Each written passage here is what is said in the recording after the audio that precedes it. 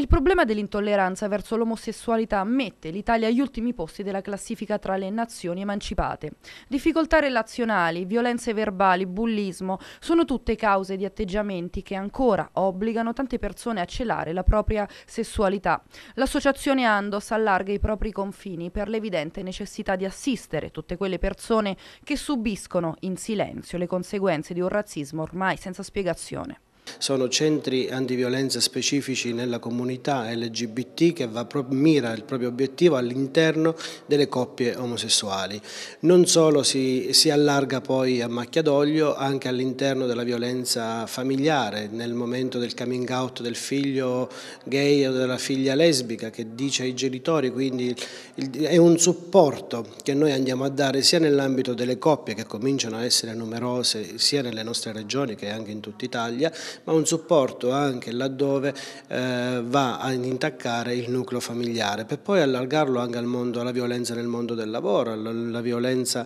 nel mondo della scuola. Nelle testimonianze riportate dagli operatori dei centri antiviolenza, anche le storie che identificano la famiglia come luogo di intolleranza e razzismo, un limbo di solitudine davanti a un pregiudizio che purtroppo spesso porta a gesti estremi e allora Pescara si schiera a difesa di questi casi. Amate i vostri figli,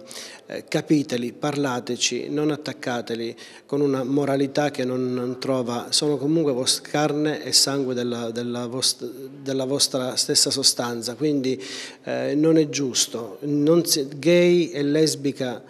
non si diventa, si nasce, è una vostra creatura, un figlio è la, è la, vostra creatura, quindi non utilizzate violenza ma utilizzate solo l'amore che un padre e una madre possa dare al proprio figlio.